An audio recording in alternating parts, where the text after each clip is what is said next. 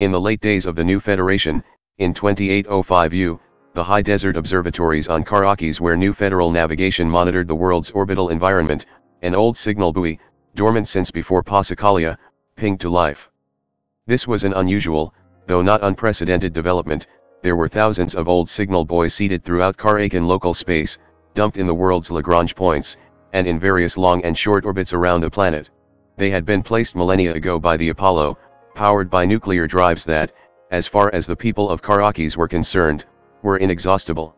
The buoys, old communications relays, data collection satellites, theater building autocartographers, breadcrumb nodes, and so on, had been tracked, but left alone unless they presented a danger to orbital traffic. The buoy that pinged was a communications relay, a simple signal booster that accepted a tight beam laser communication, sighted its next point, and passed it on, cleaning the signal and boosting it to prevent excessive data loss. In this case, it targeted the old towers that had been maintained on Karrakis since the earliest days of habitation by a series of professionals, monastic orders, cults, and, at the time of contact, a skeleton crew of new Federation flight control operators working to mothball the structures. It took the crew the better part of a week to realize that the old buoy was pinging, it was a simple binary message, which they were able to translate into Old Earth languages following ancient guides, then into Karrakin.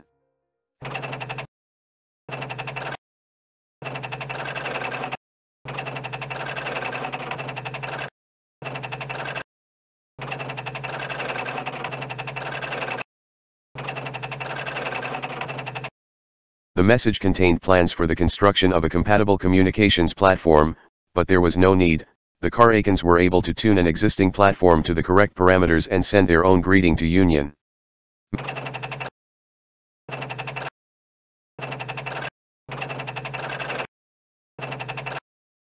Attached in the Karrakin reply was a broad portfolio of data including images, texts, music, and other cultural artifacts, the distances involved meant that any reply would take years to reach its intended recipient, so it was years later, after a measured rollout of the announcement, a range of public responses, and growing speculation around what, if anything, Cradle would say in response, that the Karrakins received Cradle's reply.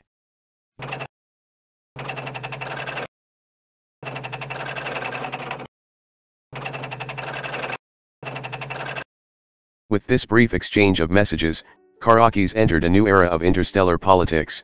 The major test for the new federation was to determine how to approach the senders of these transmissions, data scraped from the tight beams pointed back toward Earth, indicating that they were indeed sent from that world, one largely forgotten by the Karrakins, but of greater and greater public interest as the origin point of these messages. Messages flowed back and forth, with cultural exchanges occurring once every 16 years. Soon, the messages began to return faster, their origin point was a Union near lighter, en route to Karrakis. First contact had a complex effect on the Karrakin psyche, some, chief among them the hagiographs, die-hard careerists of the new federal army, urged the barons to launch a fleet and meet the incoming ship. Others cautioned temperance and advised the barons to approach not with military ships, but civilian vessels. In the end, they decided to review old protocols and grant the arriving near light vessel an honor guard, a mix of military ships and diplomatic yachts arranged in an escort corridor. Protocol queries flew back and forth between Karrakis and the approaching ship, establishing diplomatic handshakes, sharing health data and vaccination information, language guides, and other contextualizations and introductory information. The Karrakins learned a more detailed history of Union and the Central Committee, and, for the first time, were able to place themselves in a coherent timeline. Accordingly, administrative and cultural reforms were announced across the new federation, part of the ongoing package of reforms already underway as part of the transition from Anorum to federation. When the ships finally met, it was a bridging of splintered histories thousands of years in the making, the Union delegation was escorted with a gleaming honor guard and landed with great fanfare in the capital. The new federation is remembered today for its peaceful welcome of Union's representatives, its insistence on reintegration under the Union Standard Timeline, and its inability to effectively address Union's political influence in the following centuries.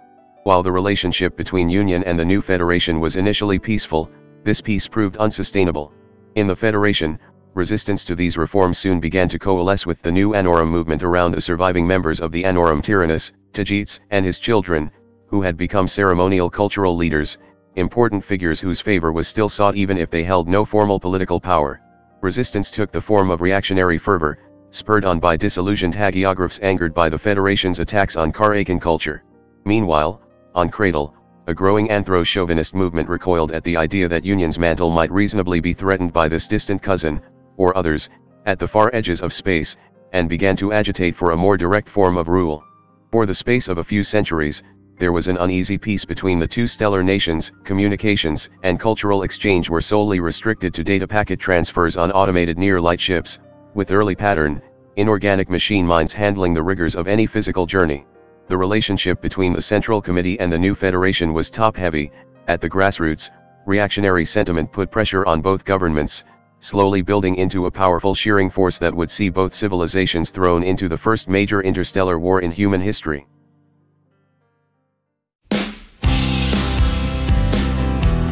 Hello there, if you like this video, please subscribe to my channel and click that notification bell button.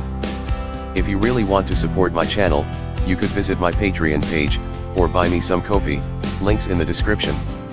Anyway, have a nice day.